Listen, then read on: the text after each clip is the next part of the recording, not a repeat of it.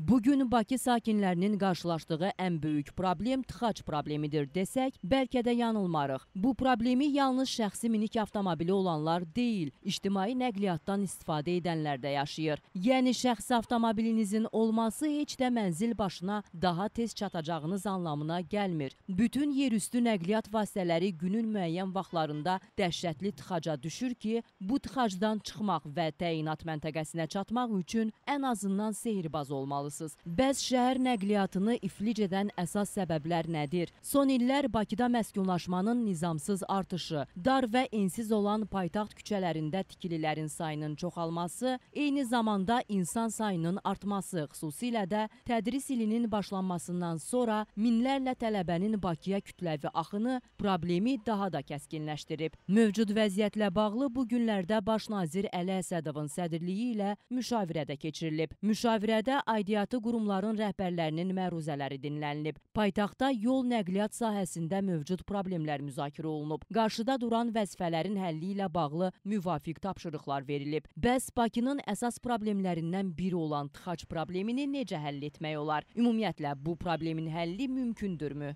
Bakı şəhər Dövlət Yol Polisi İdarəsi sürücüləri parklama qaydalarına riayət etməyə çağırır.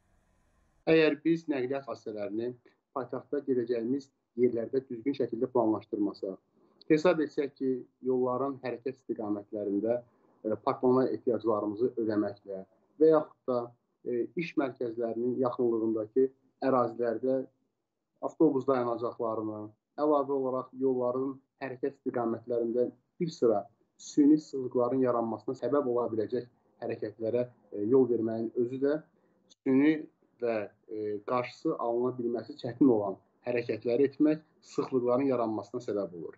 Vətəndaşlarımızdan xahiş edirik ki, paytaxtın real mühitini düzgün qiymətləndirsinlər. Bu günləri paytaxtımızda ümumən respublikada e, idarə olunan 1 milyon 700 minə yaxın nəqliyyat vasitəsinin 70%-dən çoxu idarə olunur. Yəni bu rəqəmlər kifayət qədər ciddi rəqəmlərdir. Əhali sıxlığı da təbii ki, e, kifayət qədər ümumi real vəziyyəti biraz da gərginləşdirir.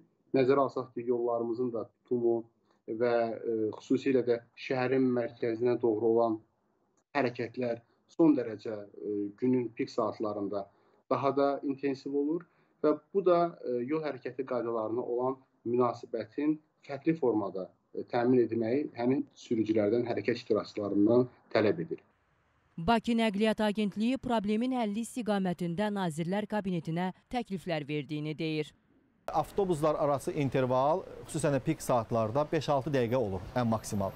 Yol açıqdırsa? E, yol açıqdırsa təbii ki. Əgər yolda sıxlıq varsa, təbii ki, siz intervalı qrafik üzərində, kağız üzərində 5-6 dəqiqə qeyd edə bilərsiniz. Əgər yolda tıxac varsa, bu artıq sizdən asılı olmadan həmin qrafikin pozulmasına gətirib çıxardır və bu günləri hər gün pik saatlarda biz onun şahidi oluruq. Dediyim kimi, e, təkliflər verilib, əsas ictimai nəqliyyat dəhlizləri müəyyən edilib, hansı ki, bu dəhlizlərdə zolağın olması mütləqdir və onlarla bağlı təkliflər də Nazirlər Kabinetinin Yol Kənd Təhlükəsizliyi Komissiyasına təqdim edilmişdir.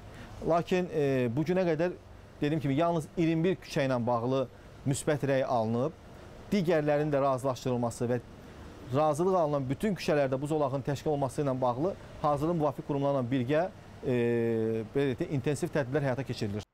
Son vaxtlar Bakı şəhərində günün demək olar ki, bütün saatlarında sıxlıq, pik saatlarda isə tıxac müşahidə edilir. Nəqliyyat eksperti Elməddin Muradlı çıxış yolu kimi alternativ yolların çəkilişini, imkan olan yerlərdə isə yol şəbəkəsini genişləndirməyi məsləhət görür. Ekspert böyük yolların çəkilişinə ciddi ehtiyacın olmadığını, ona xərclənəcək vəsaitin isə ictimai nəqliyyata, yəni metro şəbəkəsinin genişləndirilməsinə, avtobusların sayının artırılmasına yönəldilməsidir edilməsini lazım hesab edir.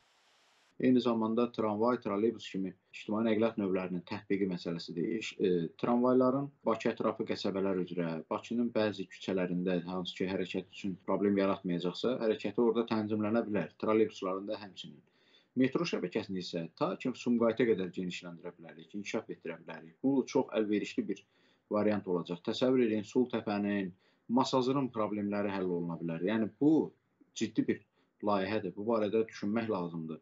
Alternativ olaraq e, yeni bir yol dəniz üzərindən salına bilər. Baxın, dünyanın bir çox ölkələrində hətta biz baxırıq nəinki dəniz üzərindən, dənizin altından belə dəmir yol xətti çəkirlər, avtomobil yolu tikirlər. Yəni bu qədər inkişaf etmiş texnologiyalar varkən biz dəniz üzərindən yol çəkməkdə niyə bu qədər tərəddüd edirik? Ekspertin fikrincə tıxac problemini yolları və körpüləri şaxələndirməklə də aradan qaldırmaq olar.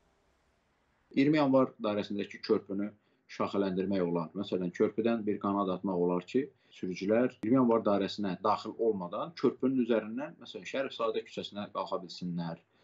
e, Zərdabi küçəsinə hərəkət edə bilsinlər, yəni Qələbə dairəsi istiqamətinə və yaxud da 3-cü mikrorayon dairəsinə körpü üzərindən düşmək olar.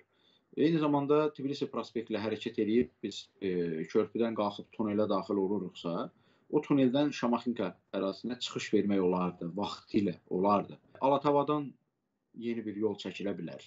Bu mümkündür. Düzdür, orada xaotik tikinti gedib, e, bəzi yaşayış evləri yəqin ki, plana düşə bilər, amma düşün, düşünürəm ki, belə bir ideyanı gerçəkləşdirə bilərik və əslində məndə olan məlumata görə belə bir layihə var ortalıqda.